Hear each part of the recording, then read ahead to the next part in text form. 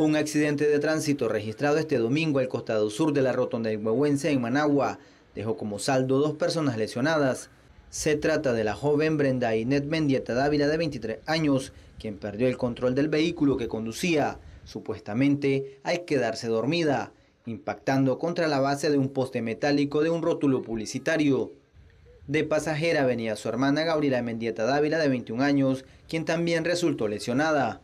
El vehículo venía de, del, para, para, para, el lago, ¿verdad? Hay que eh, la muchacha me estaba diciendo de que yo, yo pues eh, le ayudé a ella. Me estaba diciendo que se venía, de venía a vacunarse y que dice que se durmió. Se durmió y pegó y chocó ahí en el, en el poste, ¿verdad? Venía con dos, las dos son hermanas. El, el cuello le, le afectó un poco el cuello. Tras la colisión quedaron atrapadas en el automotor, siendo auxiliadas por técnicos en emergencias médicas de Cruz Roja Nicaragüense. Ambas resultaron con trauma cervical y de tórax. En condición estable, fueron remitidas al Hospital Militar Escuela Dr. Alejandro Dávila Bolaños. Con cámara de Francisco Espinosa, este es un reporte de Benedicto Balmaceda para Crónica TN8.